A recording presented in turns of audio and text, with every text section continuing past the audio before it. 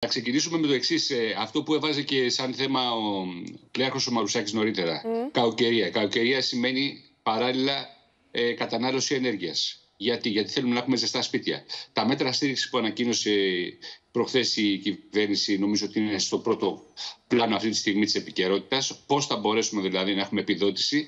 Θέλω να σας πω βεβαίως ότι θα μας παρουσιάσει ο Γιάννης Χατσαλάτας στα σχετικά μέτρα που ε, ουσιαστικά είναι μέτρα στήριξης για τα νοικοκυριακή, για τις επιχειρήσεις. Όμως αυτό που έχω καταγράψει μέχρι στιγμής από το ρεπορτάζ είναι ότι υπάρχει το εξής. Πλούσιοι φτωχοί επιδοτούνται το ίδιο, δηλαδή είναι, μια, είναι οζόντια μέτρα. Δεύτερον, όσοι για παράδειγμα, ή μάλλον ότι οι πολυκατοικίε για το κοινό ρεύμα μένουν εκτός, όσοι ιδιοκτήτες δεν έχουν τους μετρητές στο όνομά τους μένουν εκτός Γιάννη Χατσαλάτα και νομίζω επίσης και οι ενοικιαστές. Σωστά, και οι ενοικιαστές που δεν έχουν το μετρητή στο όνομά τους μένουν εκτός. Και οι φοιτητές επίσης που δεν έχουν το μετρητή στο όνομά τους μένουν εκτός.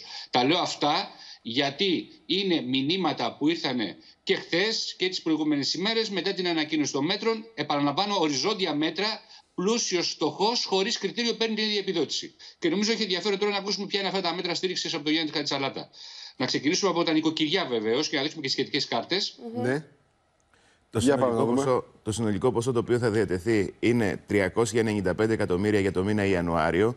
Αναμένεται και σχεδιάζεται ανάλογα μέτρα στήριξης για Φεβρουάριο και Μάρτιο, αν η ενεργειακή κρίση που κατά πάσα πιθανότητα θα μας απασχολήσει και τους επόμενους μήνες. Έτσι λοιπόν έχουμε για τα νοικοκυριά, επιδοτούνται, όπως είπες πολύ σωστά, Σπύρο, οι παροχές όπως δηλώνονται στο ε1, ανεξάρτητα εισοδήματος και εμβαδού.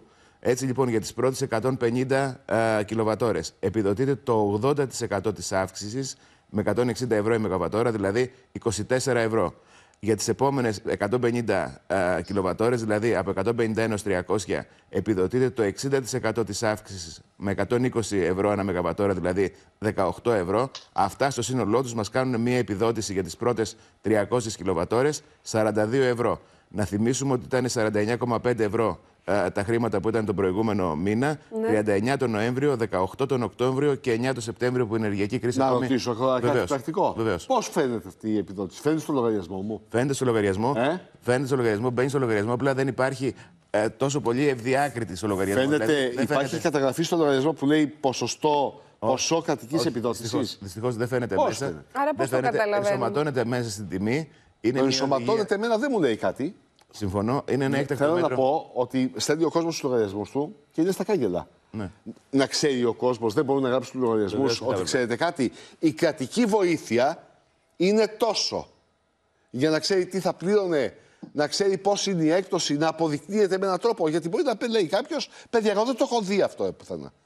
Δεν μπορεί να το πει, Γιάννη. Βεβαίως θα έπρεπε να γίνει. Είναι δύσκολο να γίνει όμως, γιατί είναι μέτρα για ένα μήνα να θυμίσω. Είναι για τον Ιανουάριο αυτά τα μέτρα. Mm-hmm. Φανταστείτε, θα έπρεπε να αλλάξει όλη η μηχανογράφηση για να εκδοθεί αυτός ο λογαριασμός. Ναι. Δεν είναι κάτι που είναι εύκολο. Ναι, αλλά μας στέλνουν εδώ κάτι ρήτρε αναπροσαρμογές, κάτι Συμφωνώ. ποσά και είναι όντως τα κάγκελα, διότι διαβάζεις... δεν ξέρουν ποια είναι η παρέμβαση και αν έχουν παρέμβαση. Έτσι είναι, σωστά. Και, αλλά, και πρόσθεσα, ναι. ναι. Και πρόσθεσα, με συγχωρείτε, πρόσθεσα λίγο πριν από το, από το ρεπορτάζ ότι ούτως ή άλλως είναι στα κάγκελα, διότι είναι μέτρα οριζόντια.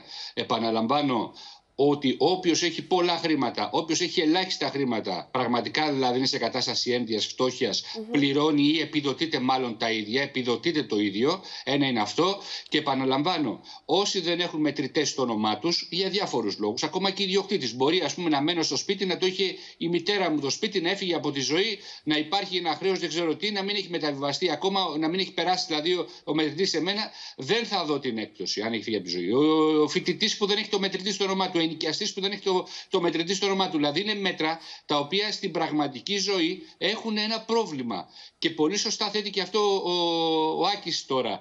Πώς θα δω εγώ τι επιδότηση έλαβα, πώς θα καταλάβω ότι κάποια ανακούφιση μέσα από αυτό το λογαριασμό ε, έχει ε, ληφθεί στο όνομά μου; Διότι οι λογαριασμοί αυτή τη στιγμή είναι ε, σε ψηλά, είναι, είναι αρκετά υψηλοί και δεν ε, μπορεί να είναι καθαρό, εσπυρό μου. Ε, να ξέρω. Να ξέρω. Δεν είναι καθαρό. Δεν θα είναι πλήρωνα καθαρό, τόσο, δεν είναι καθαρό. Τόσο είναι η κρατική παρέμβαση, έχει ενσωματωθεί παιδιά, άρα λοιπόν τόσο μείον τόσο, πληρώνει τόσο.